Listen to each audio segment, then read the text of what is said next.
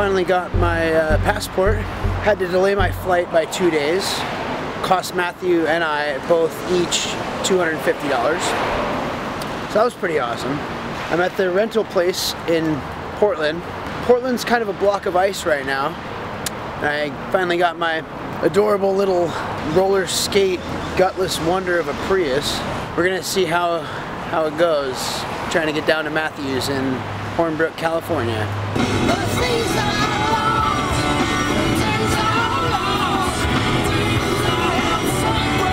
Okay, well, we left about 12 o'clock and drove straight down to San Francisco in the middle of the night and got here about 6.15 or something and turned in rental car, got on a shuttle, got to the airport, got checked in and um, got boarding passes and um, so now we're just about 20 minutes shy of getting on the plane. What's the funniest thing that's happened so far? Me, me driving in the rain in the dark in a car I never drove before. you having heart palpitations. This is my Uncle Matthew, the most well traveled person I know, a legend of our time, and one of my favorite people in the world. He taught English in China on and off for about seven years, and when I heard he was going back, I couldn't pass up the opportunity to join him. I'm going to China!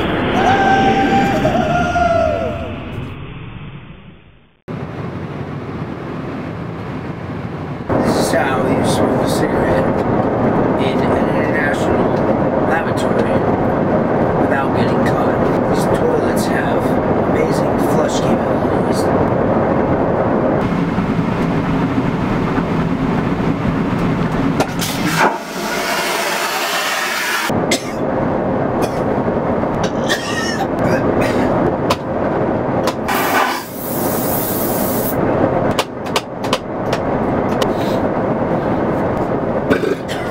After a 15 hour flight from San Francisco, we caught a bus from the airport into downtown Kowloon, which is an urban area in Hong Kong. There, we found our guest house that we looked up in our Lonely Planet book and settled in. We spent a few days just tripping around the city, seeing the sights, eating the food, and meeting the people. We stayed in a super cool hostel full of other world travelers and made preparations for the next leg of our journey to Guilin in mainland China. After a couple of light rail trains to the border, and once we crossed into China proper and went through all the customs and immigration crap, we found out that the train tickets we bought online to Guilin while we were in Hong Kong were no good. So they gave us our money back, and we spent over an hour waiting in line at the train station to buy tickets for the next train, during which time they all sold out and the next train wasn't till two days later. In the meantime, we shacked up in a youth hostel in the beautiful little city of Shenzhen. And by little, I mean about 12 million people. This hostel in Shenzhen is absolutely incredible. I'm sitting here in the common area. Plate of fresh pork dumplings right here. Large beer for a dollar. I paid 20 kuai, which translates to a little over $3. Jiaozi. So you pour some brown vinegar on here, dip it in this chili sauce. There you go. I don't ever want to leave China. Mm. I miss my friends and my family, but come on.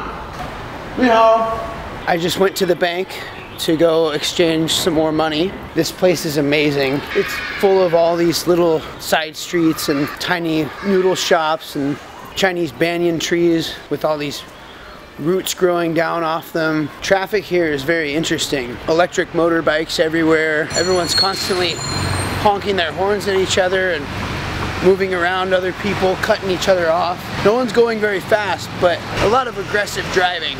I like it. I'm in China. Our new friend Lily, who was also a guest at the hostel and who happened to speak fantastic English, which is rare for a native Chinese person, helped us book another hostel in a little fishing village about two hours drive southeast of Guilin called Xingping. With our train tickets and hostel reserved, it was finally time, once again, to go back to the train station and continue on our journey. This is the Shenzhen North Railway Station, a gargantuan train depot whose size compares to a US airport and whose wait times make the DMV look like a slow day at an antique shop. We missed our train because Matthew had to go back through security when he went outside to smoke. We waited in line for an hour to get a refund. Wrong line. An hour in the next line. Too late now to get a refund. Close to another hour in another line to buy more tickets for the next day. Back to the hostel we went for another day. It sucked. Believe it or not, though, at this point, we actually caught the train the next day and were finally on our way to Guilin. The train was actually pretty cool, too. It was comfortable, quite speedy, and incredibly smooth on the tracks. We arrived in Guilin three hours later, grabbed a couple of scrumptious steam buns and some savory deep fried dough of some sort at the train station, and found a rideshare to get us to Yangshuo. No, there's no lights, no signals. Really? Yeah. Yeah. You just go when you can. You guys work it out yourselves. Then on two more bumpy buses and past someone's wrecked car before we finally arrived in the quaint historic fishing village of Xingping.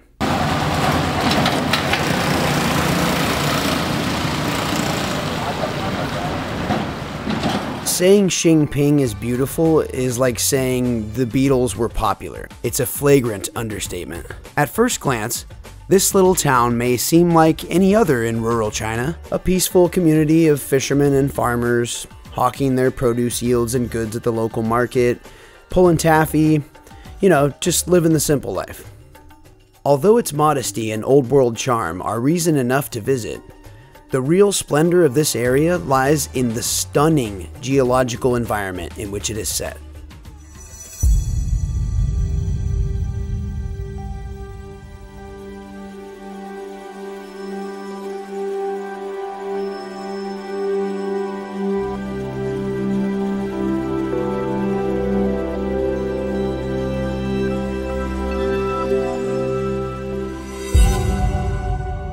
Far as the eye can see, massive haystack style limestone rock formations cover the landscape, some reaching well over 300 meters in height. These formations, known as karsts, were formed from fossilized prehistoric seafloor sediments millions of years ago. When the crashing of tectonic plates formed the Himalayas, the seafloor was pushed up, exposing the alkaline limestone to the acidic rains of this subtropical climate. The water slowly dissolved the limestone and percolated into subterranean rivers, vast caverns, and sinkholes that caused the water tables to drop and the ground's surface layer to sink. This in turn caused the formation of karst peaks.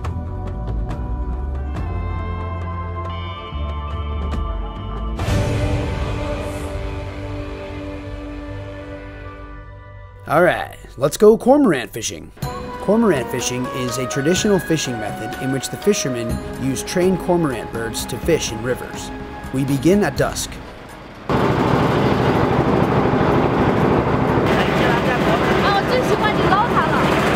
Dating back over a thousand years in China and Japan, this ancient fishing technique uses a snare tied near the base of the bird's throat, which prevents it from swallowing large fish. While still able to breathe easily and swallow the small fish, the large fish are held in the bird's throat and retrieved by the fisherman when he gets the bird back on the boat. Though cormorant fishing was once a successful profession, its primary use today is to serve the tourism industry.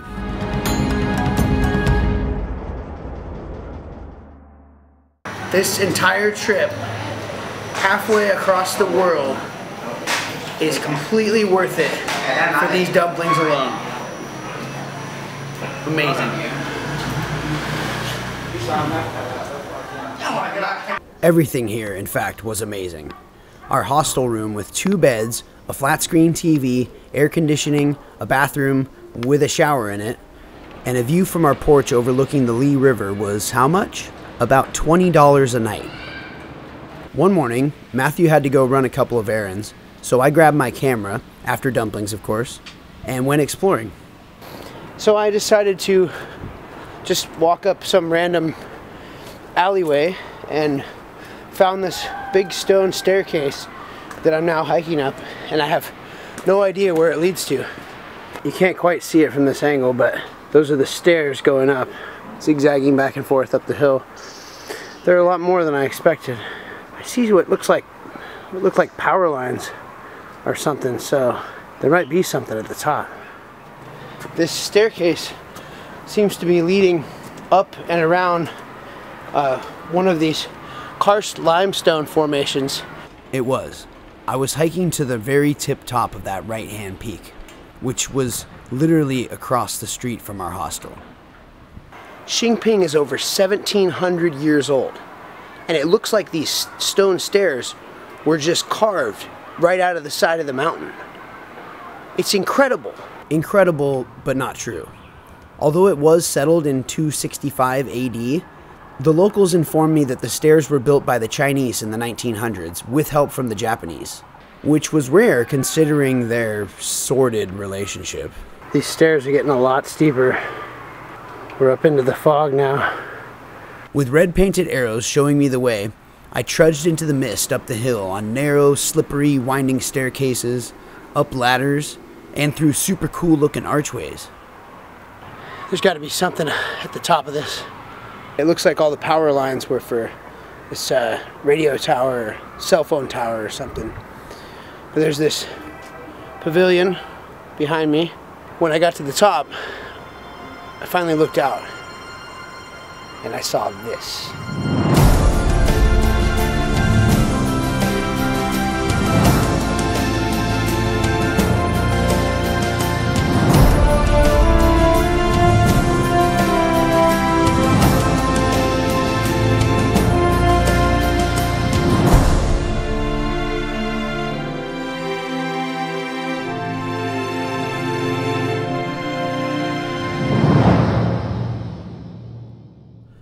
On our last night in Xingping, we feasted once again at our favorite dumpling shop, which we had visited almost a dozen times over the course of four or five days. This night was special though, because while we were eating dinner, our conversation began drowning in a cacophony of yelling at an adjacent table. Yeah, yeah.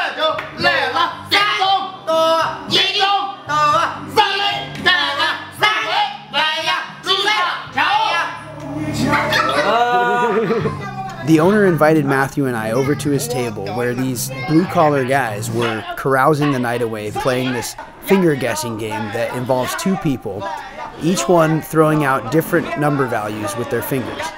Every time a player throws, they shout out a predicted sum to try and guess the total of the two numbers shown by their hands. It's kind of like rock, paper, scissors. The first player to guess the total wins the round, and the other player has to take a sip of this homemade rice whiskey called Baijiu that they served from an old Gatorade bottle and is commonly referred to among the Chinese as white lightning. They also added what I could only assume at the time to be chicken liver oil or something. I guess it's supposed to help your hangover. It didn't, and it was not tasty at all.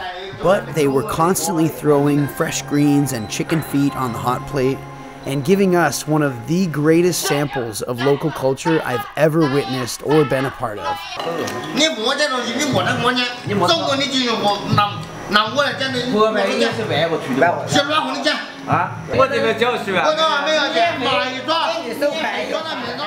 We could not have asked for a better send off from this, one of the most magical places I've ever been. It was such a kick in the pants.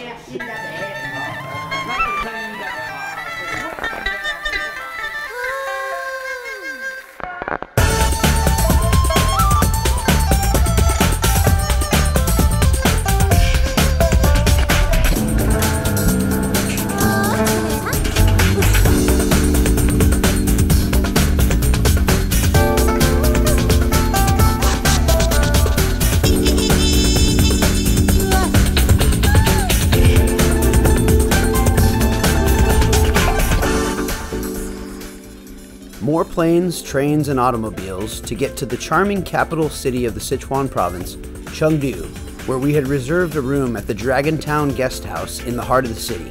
We checked in and then went out. This little shop sold the best steam buns I've ever had. They were stuffed full of pork, garlic, ginger, good stuff, and they were only a buck a piece. And of course, we were always hunting for dumplings. These dumplings are amazing. Once again, this entire trip to China is worth it for a bowl of dumplings. Hmm, hmm. Beitong Hao. And speaking of food, we also stumbled across this incredible market right in the middle of the city. This place was like a chef's wet dream. They had everything here, it seemed. Well, no cats or dogs. I checked.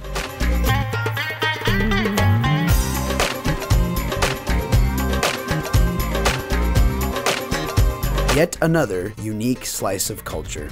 We were also treated to a sumptuous dinner by one of Matthew's former students in a neighboring town referred to as the Minority Village due to its high populations of various Chinese minorities. We feasted on a smorgasbord of delicious food and drink, and I finally got to eat some bugs.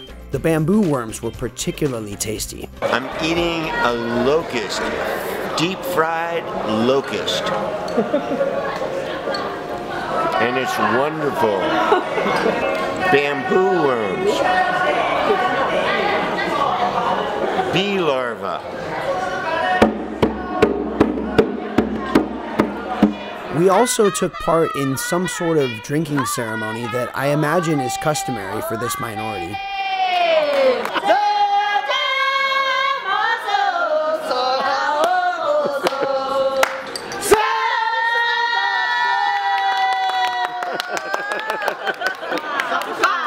We drank a bunch of rose wine. It was great. While the city was really cool, the reason we came here was not for what was in the city, but for what was in the mountains. From Chengdu, we hopped on a bus that dropped us off right outside the city of Leshan at Lingyun Mountain. Lingyun Mountain is located within the Mount Emei Scenic Area, which has been a UNESCO World Heritage Site since 1996 and is home to one of the most spectacular monuments in the world.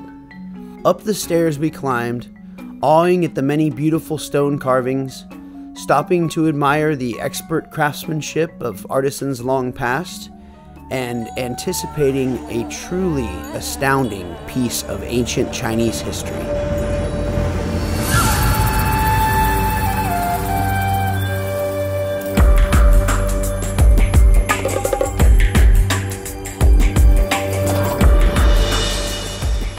This is the Leshan Giant Buddha. Completed in 803, this massive 233 foot stone statue is over 1300 years old. It is the largest and tallest stone Buddha statue in the world and is by far the tallest pre modern statue ever built. Carved right into the side of the mountain, construction began in 713 and was led by a Chinese monk named Hai Tong, who reportedly gouged his own eyes out to show his piety and dedication to the project when funding was threatened by the government. After his death, construction of the statue was halted for about 70 years due to insufficient funding. A regional military governor stepped in to fund the completion by Hai Tong's disciples in 803. Built at the confluence of three rivers, Hai Tong hoped that the Buddha's presence would allow safe passage of shipping vessels that were plagued by the turbulent waters there. Interestingly enough, the massive construction resulted in so much stone being removed from the cliff face and deposited into the river below that the currents were indeed altered by the statue, making the waters safe for passing ships. It is a sacred destination to many Buddhist pilgrims and attracts millions of tourists every year from all corners of the globe.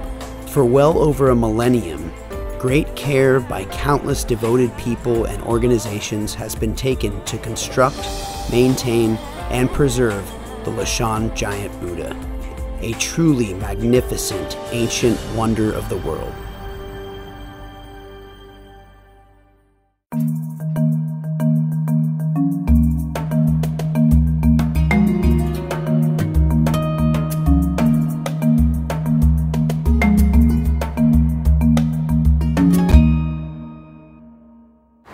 After our 19 hour train ride from Chengdu to Kunming, we're on our way to our hostel finally. The girl at the hostel in Chengdu gave me the name in Chinese characters for the hostel in Kunming. But when we got to the bus station, after we got off the train, we couldn't catch a cab. We had to call the hostel in Chengdu and then ask some employees at the bus station how to get to our hostel. So they put us on a number two bus and it's about probably 28 degrees out here. We're freezing our asses off. But good news, we just got to our hostel. Known as the City of Eternal Spring for its pleasant, moderate climate and flowers that bloom all year long, Kunming is the largest city in and the capital of the Yunnan province. We just happened to arrive during what was said to be one of the coldest winters they had had in decades. It's freezing here in Kunming, so we decided to stop by the sidewalk fire and warm ourselves for a little bit. Just on the sidewalk. Go figure. After three weeks of nothing but dumplings, noodles, and fried rice, I'm ready for a chicken club sandwich with french fries. You can smoke on these buses, because the driver is, so I am. The next morning, we set out northwest of Kunming up Yuan Mountain to an old Buddhist temple called Bamboo Temple.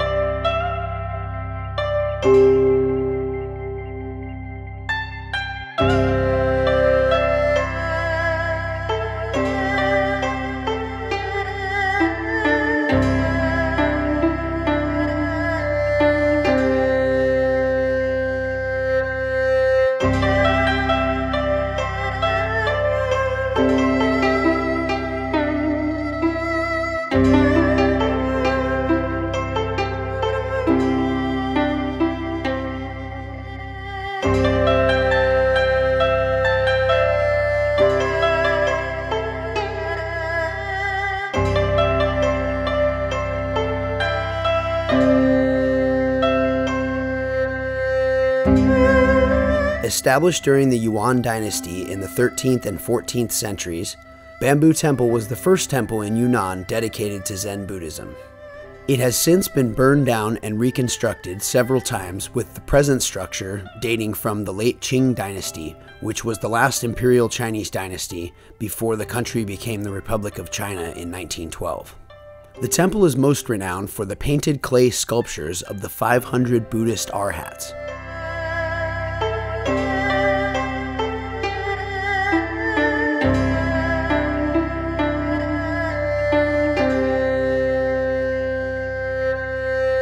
In Sanskrit, the word arhat translates to mean one who is worthy, and referred to in Buddhism as someone who is spiritually enlightened. Each arhat is about a meter tall and is characterized by a unique facial expression and body gesture.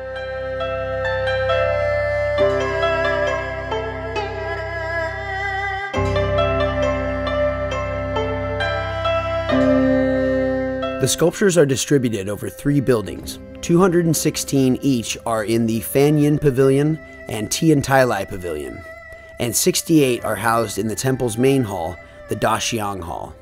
Photography in these rooms was strictly prohibited, so I had Matthew stand outside and keep an eye on the monk who was distracted by her iPhone while I captured all the footage you're seeing now.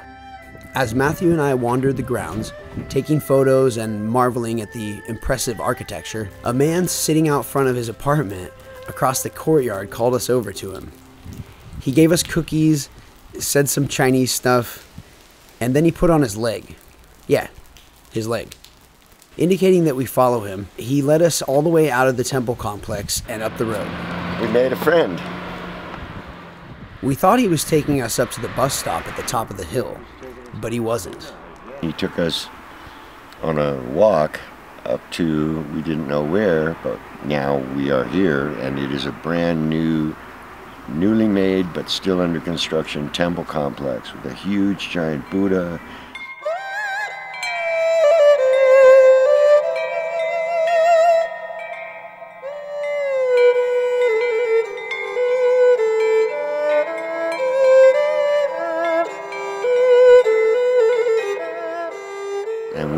Got to see some of the sculptures being painted in real time. And uh, it just knocks our socks off. It's just been so incredible. And we're like, this place isn't even open yet. And, and here we are and he even took some fruit off of the offering table and, and we're eating it. Uh, I guess he's allowed because he seems to know his way around here. He lives here, and I don't know what his job is, but there's some kind of a cookie with a filling inside. Here's a new interesting fruit that I have no idea what it is. It looks like a little apple. Mm. It's some kind of like a, a plum or something. That's where you say tourists know where they're going, but travelers know where they've been. The next leg of our journey was about 500 kilometers northwest of Kunming to the city of Lijiang. We left our hostel too late and missed our flight, so we had to buy new tickets and take a later flight. It sucked, but and it's better than a sharp stick in the eye, and we've been through worse. Matthew got slapped on the wrist for trying to smuggle his lighter in his sock when passing through security, but we made it to Lijiang. We just got off the bus in Lijiang and we're hungry, so we sniffed out the first dumpling place we could find. So now we're gonna indulge in a, a nice big bowl of jiaozi. We're in jiaozi heaven. And I mean, there's like at least two dozen jiaozi on here. so you better not eat mine, goddammit. Welcome to Lijiang. Time for a montage.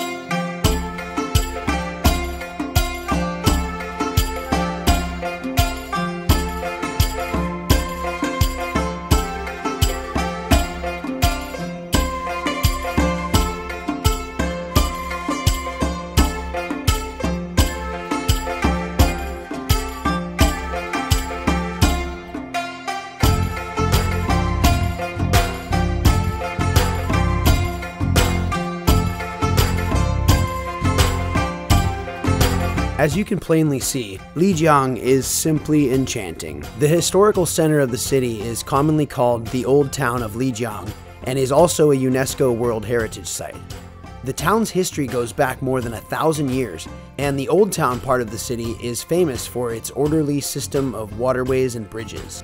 At night, the city lights up, comes alive and vibrates with music, buzzes with shoppers and tourists, and smells like food good food, and lots of it. If you aren't hungry by now, you're about to be.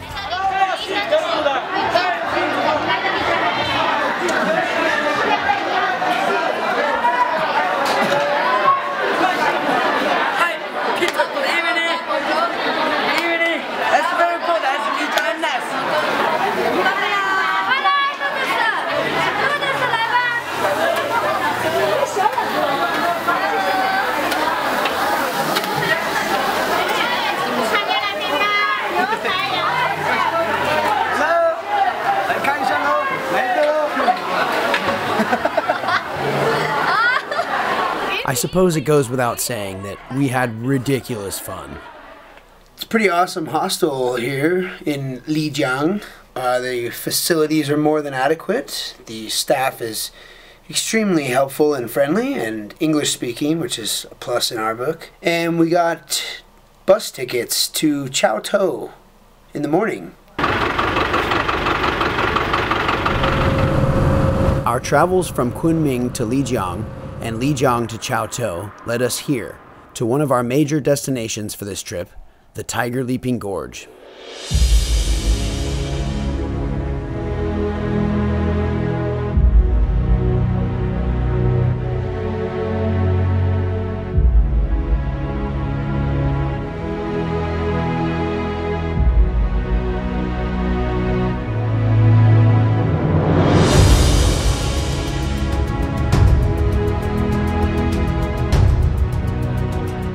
12,434 feet from mountain peak to river, the Tiger Leaping Gorge is one of the deepest and most spectacular river canyons in the world. The gorge received its name from an ancient Chinese legend. The story tells of a tiger who was stranded on a rock in the middle of the churning river. In order to escape a hunter, the tiger leapt a great distance across the remainder of the river to safety.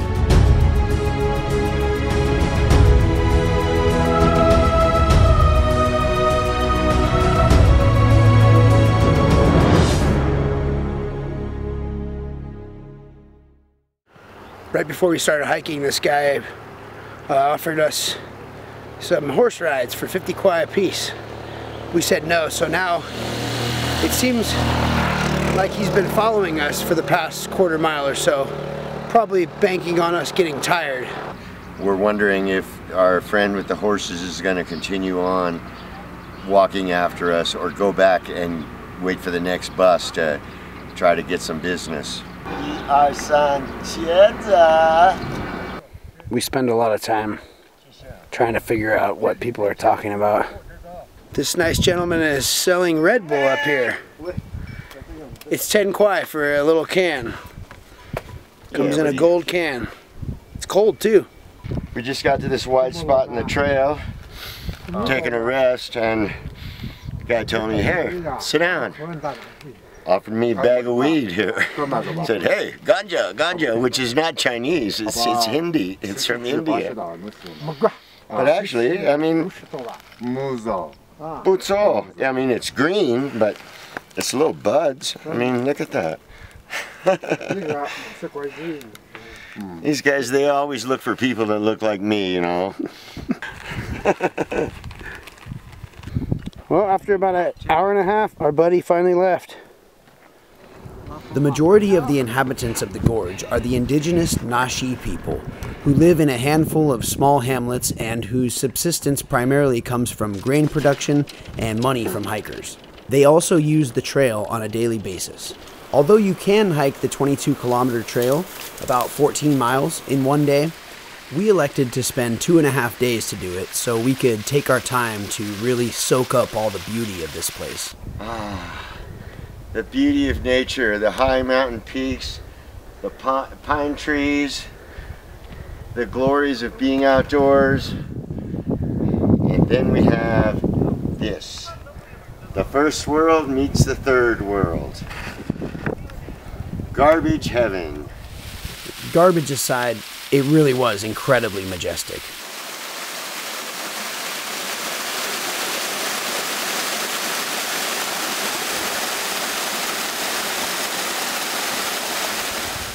Oh, it's just so beautiful in China. I love it. Be still my beating heart. On and on we hiked, constantly stopping to take photos and video. I mean, wouldn't you? After, I don't know, four or five hours or so, we arrived in some super tiny village and checked into a hostel there. It was totally awesome. You hike all day and then kick back with a beer and a bowl of fried rice. You can't beat it, especially when this is the view from your room. I drank some really weak Chinese beer with some really fun Europeans, and then we jumped back on the trail the next morning.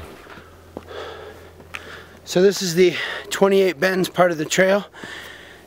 Apparently, it raises 2,500 feet in elevation within these 28 turns. I think I'm about halfway through. It's pretty gnarly.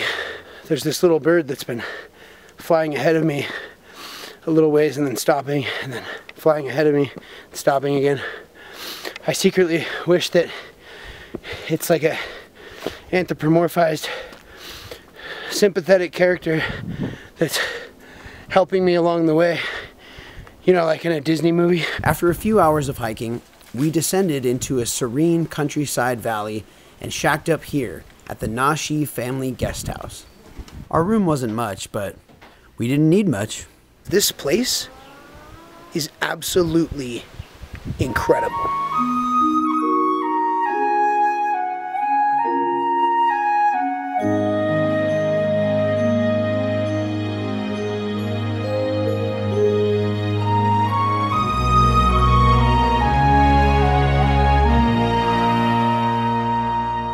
This place was pure magic.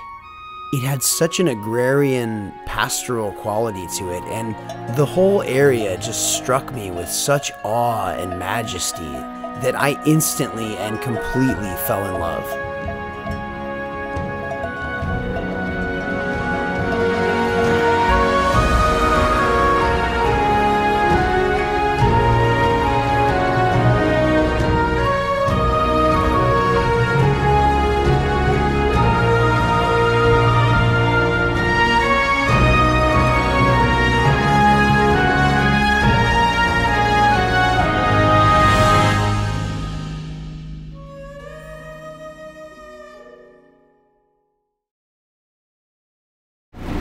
On the public bus here in Kunming, there's a sound before each stop, and it sounds exactly like when you get an extra life in Super Mario Brothers. Yeah, But the important, It's important pretty question awesome. is, who gives a shit? Sorry. We flew back to Kunming because plane tickets to Bangkok were cheaper there, but everybody and their mother was flying because it was Chinese New Year. We decided to save a few hundred dollars by taking a series of buses instead. Pretty tight quarters on this bus. My sleeper bed is literally as wide as I am, and no more. But hey, look, you got this adorable little blanket. See, they got little lambs on them and everything. Oh my god. She's got a lollipop too.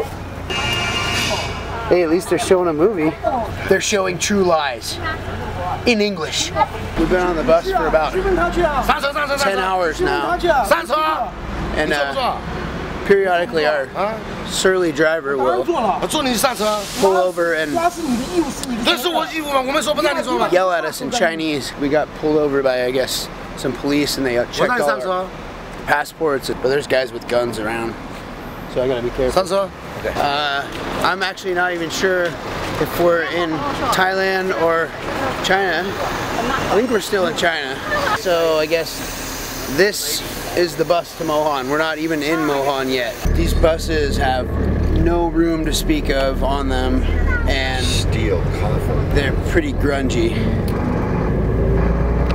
Well, we just got off the bus in Mohan, and the lady behind the desk told us that there's no bus to Thailand. No bus. So Matthew called his friend Shirley, and Shirley informed us that we, in order to catch a bus, need to walk to Laos. Which sounds crazy, but Laos apparently is only about 200 meters away. So in the meantime, we're having some breakfast. And these mango drinks are amazing. They even got little chunks of mango in them. Oh, so good. Welcome to Laos. At this point, we were stranded. As we schlepped our luggage along the road toward a bus station with no buses, a miracle happened. A newlywed couple from Kunming on their honeymoon stopped and picked us up. They drove us three and a half hours through the northwestern corner of Laos to the Thai border and wouldn't even accept any money from us. They were heaven sent. After more customs and immigration crap and 30 straight hours of travel, we were finally in Thailand. Welcome to Chiang Mai.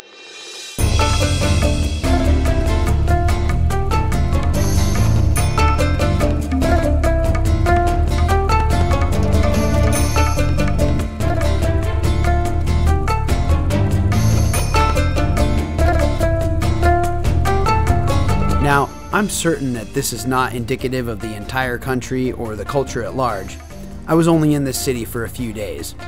But from my very limited experience, culturally speaking, Thailand was a far cry from the traditionalism of China. It seemed like the influx of American and European tourists gave the city much more of a party vibe and brought out the elasticity of the culture. There were brothels everywhere fronting as bars and massage parlors, and scores of 20 something Americans partying, getting hammered, and trying to have sex with each other. Alright, what's up everyone? I'm Kevin. We're here in northern Thailand in Chiang Mai. I met Elijah at our hostel called the So Hostel. It's pretty legit, cool area. A lot of hookers if you're interested. Uh, so right now we're drinking uh, Chang. It's a great classic lager, one of the popular ones here. Uh, something cool I learned about actually is uh, they don't regulate their alcohol uh, percentage. So it says on the bottle 5.5%, but it could be anywhere from 5.5 to I've heard up to 11% alcohol. So a funny word, it's called the changover. Uh, if you have a couple too many, you might feel pretty shitty the next day. It's Chinese New Year here in Chiang Mai. So, Sawati Pi Mai. Happy New Year in Thai.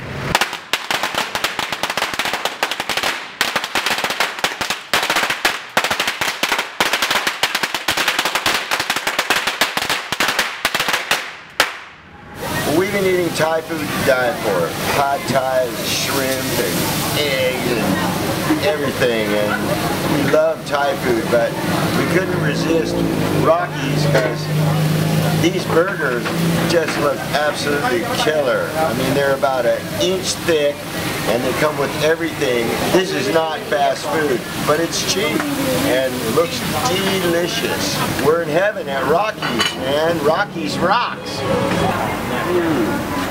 That is sensational. We decided to do our own things for a couple days, so we rented some motorcycles, and Matthew went off to the city of Pai, and I went about 50 miles north. Now I'm headed up to Chiang Dao, meet up with my friend Kelly, rented this super sweet scooter. I get 70 miles to the gallon on this hog. Do you still want to go to Aspen?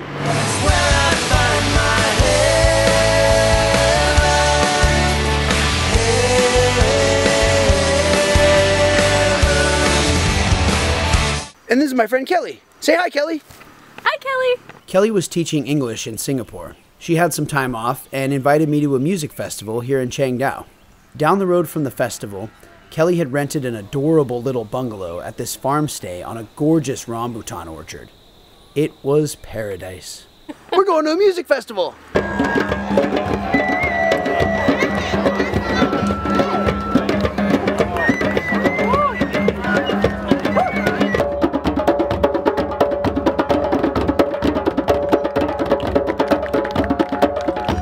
More great memories and epic adventures in the jungle, but it was time to head south.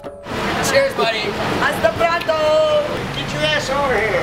Back in Chiang Mai, Matthew and I reconnected and took a brutal 12 hour bus ride south to Bangkok where we stayed for a night. I say you meet great people on the road. That's because the boring people stay home. Welcome to Bangkok.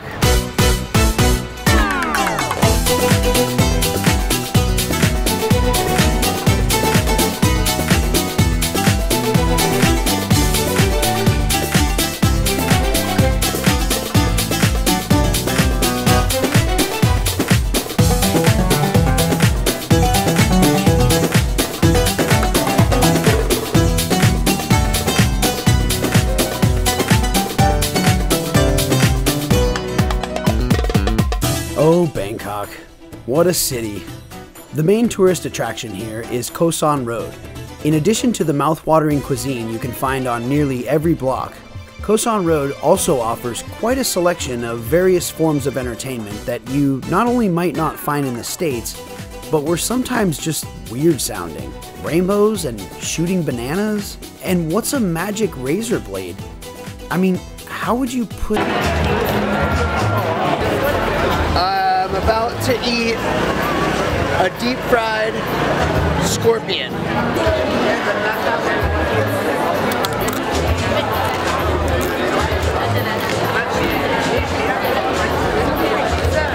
It's actually not that bad. It looks more intimidating than it actually is. I said I wasn't going to do this. It is pretty repulsive, but I decided that, hey, you know, go big or stay at home, right? So here I am eating a scorpion. Gives you uh, lots of power. It's like crab. It's pretty hard, actually. Really crunchy. I wouldn't say it's bad. It's kind of like eating a walnut shell or something.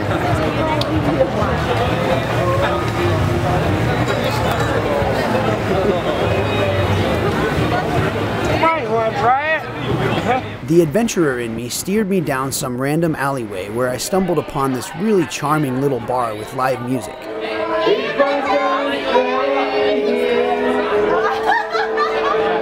I ended up drinking whiskey and playing rummy for money with this cool Thai lady. Good morning! Now we're taking a bus, a nine hour bus to Siem Reap. Lots of fun! When we arrive in Cambodia, I will collect your passport again to are processing the visa and get a stamp for everyone. So we had to pay 1400 baht for our visa and immigration to get into Cambodia, and then 100 baht to uh, pay for the photograph that we have to take, like a, you know, passport photo. But we didn't have to take any photos. It was actually just 100 baht to pay off the government or whoever is allowing us into Cambodia. Here in the beautiful little city of Siem Reap in northern Cambodia, we checked into yet another cheap but impressive hostel and went out on the town. Pub Street is the main drag here. where you can find a variety of bars and restaurants serving up delicious local cuisine, as well as some of the more exotic culinary adventures. This is a cockroach. No, not that. That's water. What's this? This is a cricket. Mm. I like the cricket better. Yeah, it's good. It's not as crunchy. There's Matthew's snake over here. According to a bunch of crap I just read on the internet, a lot of Americans are really afraid of spiders. You know, big spiders. Like this. Giant, deep fried tarantula. But we're not in America. We're in Cambodia. And in Cambodia, I fear no spider.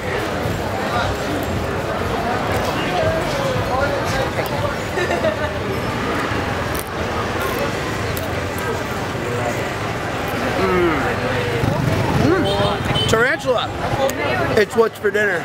After eating our way around southern China for a month, and then through Thailand for a week, our journey was nearing its end. No trip to Southeast Asia, though, would be complete without visiting some of the most jaw dropping relics of the ancient world the temples in the city of Angkor.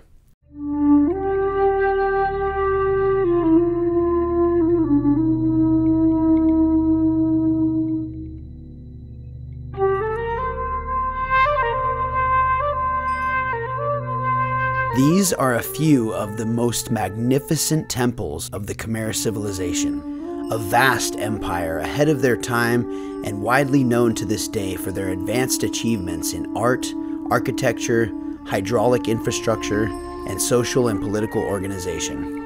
Of the over 1,000 temples built here during the Khmer Empire, the Bayon Temple of Angkor Thom, shown here, was built around the end of the 12th century and is among the most artistically and architecturally impressive temples of the period. No amount of historical information or photographic documentation can fully represent the feelings of actually being here, and I would need an entirely separate film to properly delve into the fascinating history of this time and region of the world. It's visceral and transcendent, like stepping into the past, and it's remarkably intact. From its rise in 802 AD until the fall of Angkor in the late 15th century, the Khmer Empire flourished for over 600 years. At its zenith, the empire's territory covered most of the mainland of Southeast Asia, and its greatest legacy and capital city was Angkor. Using modern techniques, including satellite photos, a team of international researchers recently concluded that at 1,000 square kilometers, about 390 miles squared, Angkor was the largest pre industrial city in the world beginning in the 11th century up until the Industrial Revolution and is said to have sustained a population of over 1 million Khmer people.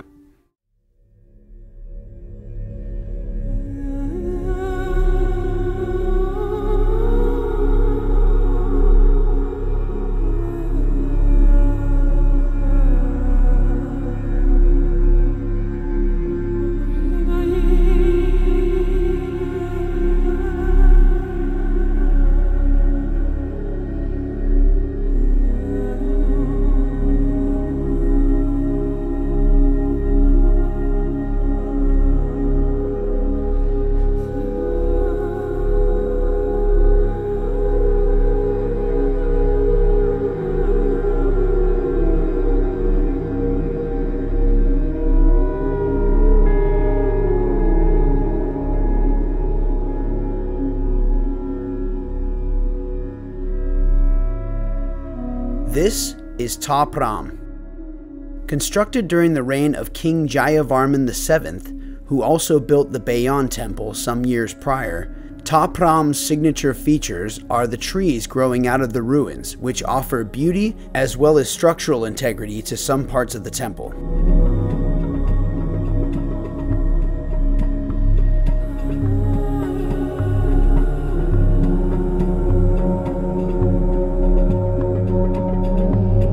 Although a concerted effort has been put into stabilizing the ruins and permitting access, Its marriage to the jungle prompted the governing powers at the time to leave Ta Prohm largely as it was found in order to maintain its condition of apparent neglect. It was also featured in the movie Tomb Raider with Angelina Jolie. And now I present to you the crown jewel of Cambodia, Angkor Wat.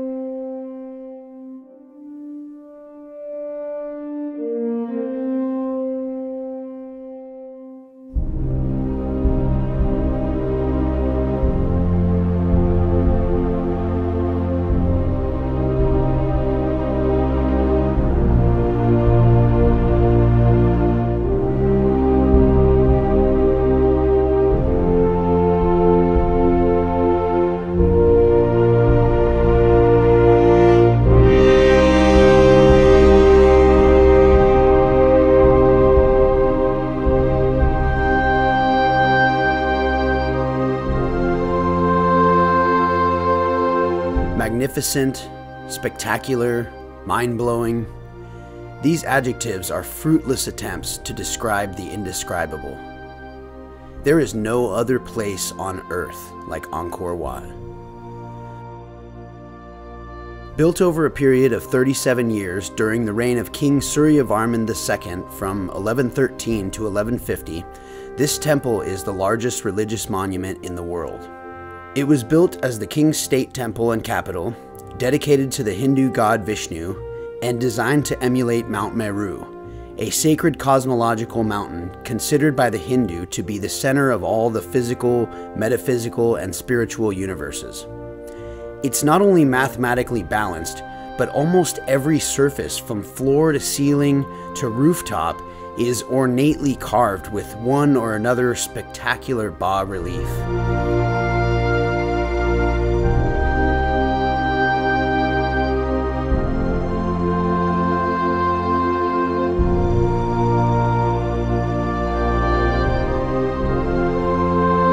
Surrounding the 2.2 mile perimeter wall of the temple is a 620 foot wide moat encompassing the entire 4 to 500 acre temple grounds, which, as well as helping to keep invaders at bay and minimizing the encroachment of the jungle over the centuries that the temple was abandoned, the moat kept the soil underneath the temple at a consistent moisture level, which has allowed it to stay standing for close to 900 years because the whole thing is built on a floodplain.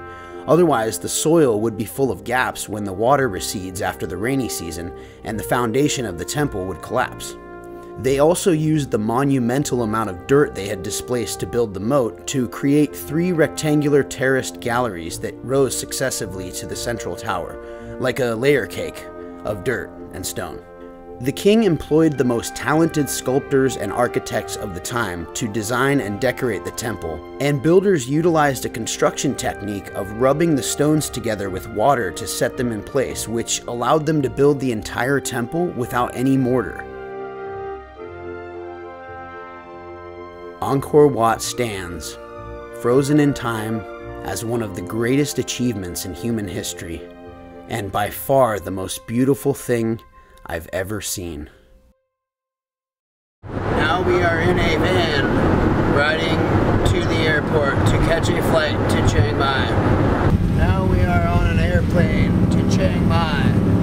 Now we are in Chiang Mai. It's over, man. You know, we're putting this trip to bed. At least the Elijah and Matthew part.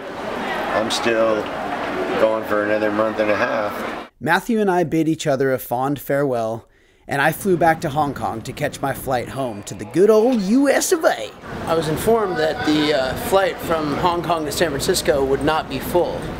So when I boarded the plane, I saw an empty seat in business class, and I took it.